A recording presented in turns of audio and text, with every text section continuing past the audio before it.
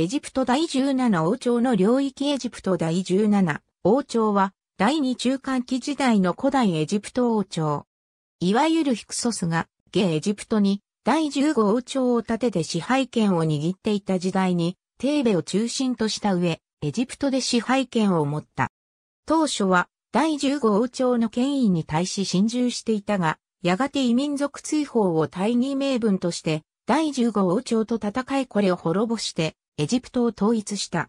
これをもって第二中間期の終焉、新王国時代の始まりとされる。また慣習的にエジプト統一を成し遂げたイヤフメス一世からは第18王朝とされているが、第17王朝と第18王朝は完全に連続した政権である。ヒクソスに関する諸問題についてはヒクソス、第15王朝の政治史についてはエジプト第15王朝を参照。マネトの記録によれば、第17王朝には43人のヒクソス王と43人のテーベ王が含まれるとされている。個々の王名が再録されていないが、ヒクソス王とされている付加的な王は、第16王朝の将と同じく、第15王朝に従う多数の小集団の支配者たちであったと考えられる。テーベ王とされている人々は上エジプトの一連の地方的支配者であった。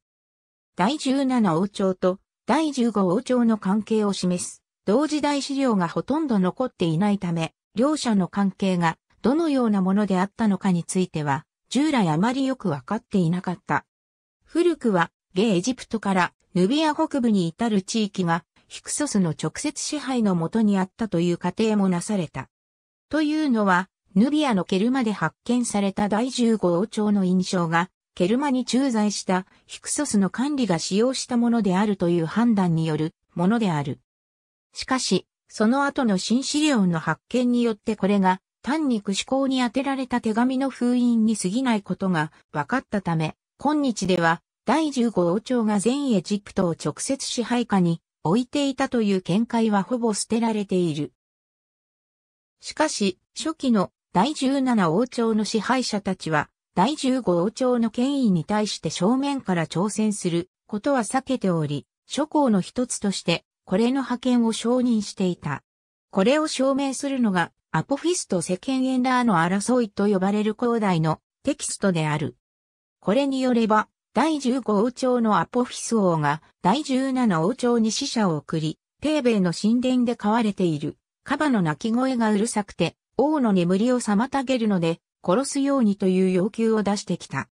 およそ単なる言いがかりとしか考えられないこの要求に、対し、第17王朝の世間エンダー王は親しく、死者を迎え入れ、二心なきことを誓ったのである。広大の政治的なテキストの記述であるため、史実性がどの程度見出せるかという点には問題があるが、この説話から第17王朝の形成以来、世間エンラーの治世初期に至るまでヒクソスに対し、真珠の礼をとっていたと推定される。しかし、このような要求は、世間エンラーをしてヒクソスに対する戦いを決意させたとされる。アポフィスと世間エンラーの争いの記述が事実であるか、どうかはともかく、考古学的発見によって、世間エンラーが実際に第15王朝に対する真珠を打ち切り戦いを始めたことは確実視されている。しかし彼は不運にも戦死を遂げる。デールアルハバリで世間エンラ王のミイラが発見されているが、彼のミイラは頭部右側面に3箇所、眉間に1箇所、左方に1箇所、合計5箇所の裂傷を負っているのである。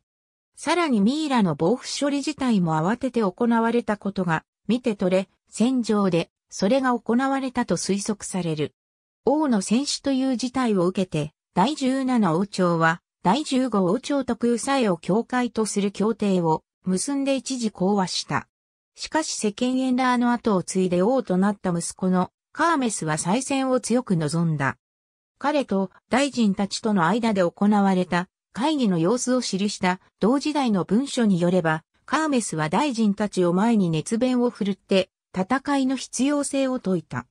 これに対し大臣たちは共存の利を説明し、恩検策を主張したが、かえってカーメス王の不況を買ったという。かくて、カーメスは対ヒクソスの軍事行動を再開した。初期の戦闘で第15王朝側の有力諸港であったヘルモポリス公敵を破り、西部砂漠のバハリアオアシスも占領した。そこで第15王朝がヌビアのク港へ送った死者を捕らえ、南北から攻撃される事態を防いだ。その後もカーメスは快進撃を続け、第15王朝のアバリス近郊にまで迫って略奪した後、撤兵した。こうして勝利を重ねたカーメスであったが、知性わずか3年余りで創生し、弟のイアフメス一世が即位したのである。イアフメス一世以降は第18王朝に分類されている。これは古代エジプトで統一者としての彼の業績を重視されたためであり、現代の学者によってもこの分類が踏襲されている。ただし、ここでは彼による最終的なヒクソスの打倒までを述べる。イアフメス一世は一旦第15王朝との間に、講和を結び国内における地位安定に努めた後、改めて第15王朝に対する攻撃を再開した。イアフメス一世の軍事活動については、当時第17王朝に仕えた船長、イバナの息子イアフメスの墓に残された伝記が主な資料になる。イアフメス一世はまずゲエジプトへの玄関にあたること、メンフィスを占領し、第15王朝の首都アバリスに数度にわたる攻撃を仕掛けた。さすがに、首都アバリスの攻略には、かなりの時間を要したと考えられるが、知世第10年目頃までには、アバリスを陥落させ、第15王朝のエジプト側領土を平丼、再びエジプトを統一することに成功した。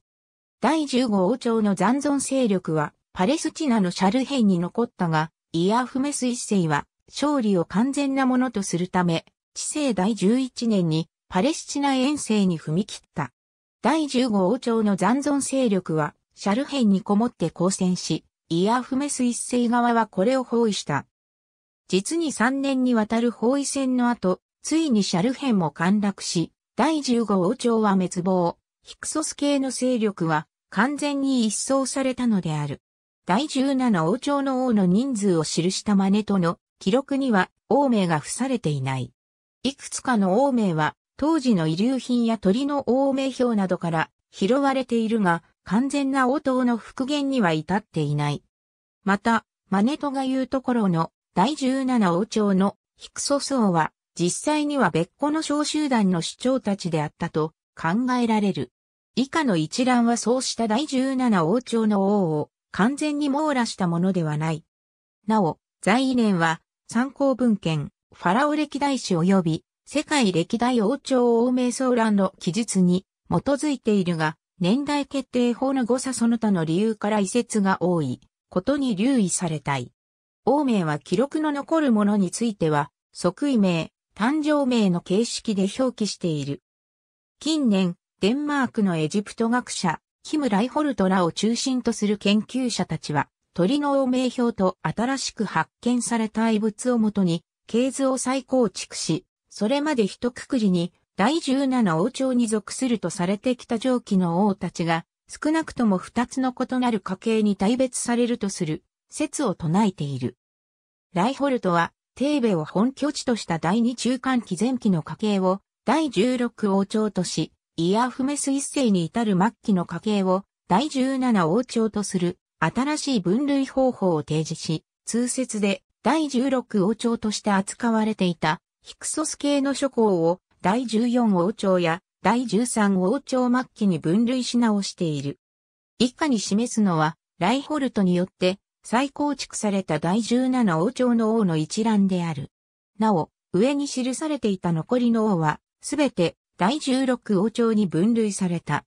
紀元前3世紀のエジプトの歴史家マネトの記録では、ディオスポリスマグナと呼ばれている。